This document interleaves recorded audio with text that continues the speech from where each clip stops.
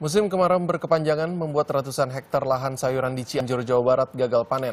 Di Tegal, Jawa Tengah, para petani memanfaatkan waduk cacaban yang mengering untuk bercocok tanam. Kekeringan akibat kemarau panjang melanda sebagian besar wilayah Indonesia. Tak terkecuali di Kecamatan Pacet, Kabupaten Cianjur, Jawa Barat.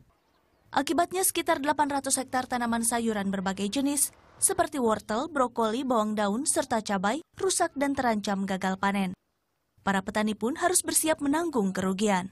Memasuki tujuh bulan. Tidak ada Dan, hujan. eh, tidak- ada hujan lah sebentar-sebentar, cuma tidak cukup men- untuk menyuburkan tanaman. Menghadapi kondisi ini, para petani hanya bisa berharap musim kemarau segera berakhir agar lahan pertanian mereka segera basah kembali oleh air dan menyuburkan tanaman yang menjadi tumpuan ekonomi keluarga.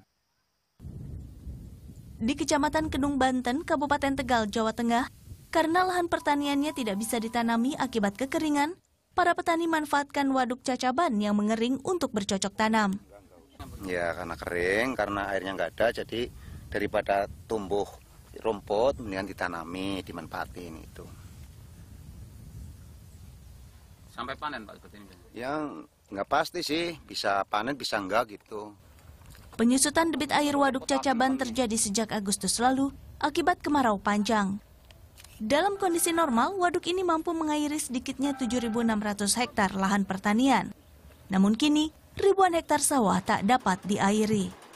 nanti mungkin tergantung curah hujan.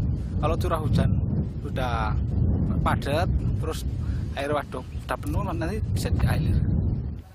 Waduk Cacaban dibangun tahun 1947 dan merupakan sumber irigasi satu-satunya di Kabupaten Tegal. Lahan pertanian di lima kecamatan, yakni Kecamatan Kedung Banten, Kecamatan Pangkah, Kecamatan Selawi, Kecamatan Tarup, dan Kecamatan Surodadi, sangat tergantung air dari waduk yang satu ini. Mugi Satria, Triyono Saifullah, melaporkan untuk NET.